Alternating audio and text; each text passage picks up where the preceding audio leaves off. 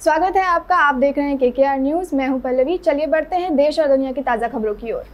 Ward क्रमांक 18 में साफ़ सफ़ाई अभियान के चलते आज बरसों पुराना कचरा जो कि 10 से 12 वार्डों का कचरा डाला जाता है जिसके चलते मोहल्ले वालों ने इकट्ठे होकर नगर पालिका अधिकारी को आवेदन देकर कचरा खत्म करने की मांग की थी जिसके चलते मुख्य नगर पालिका के अधिकारी ने आज वार्ड क्रमांक अठारह में जाकर निरीक्षण किया जिसमें नगर पालिका के अध्यक्ष राकेश शर्मा भी मौजूद रहे।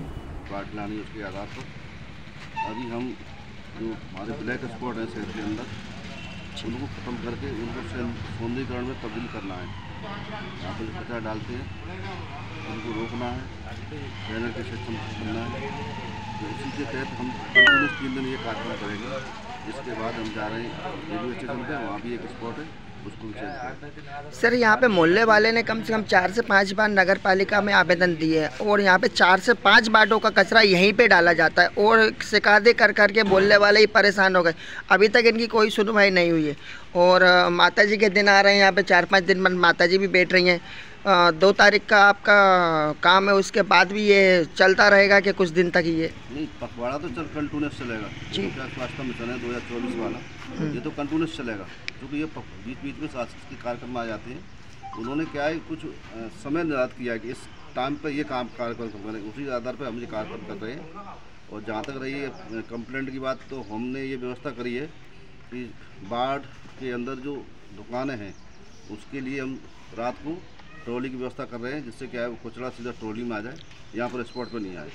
श्रीमान जी एक आपसे निवेदन है कि जो दुकानें हैं मार्केट की जहाँ पे जो जूस की दुकान है और भी स्टेशन माधोगंज तक का कचरा आता है इन लोगों को एक बार चेतावनी दी जाए कि यहाँ पे कचरा बंद किया जाए। में अनाउंसमेंट करा देते। जी। और जहाँ पर ब्लैक स्पॉट वहाँ पर हम बैनर लगवा देते कि आप पेनल्टी सिस्टम रहेगा।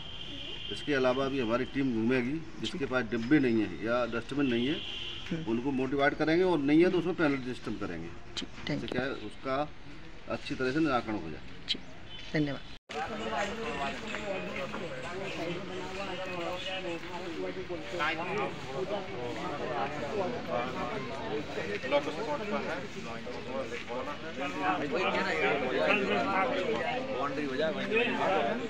मैडम।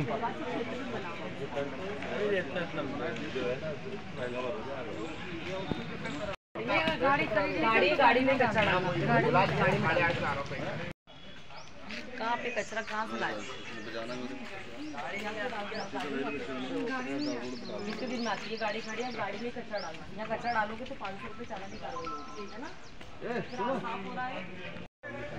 हाँ भगवान। फ़ोटो डालो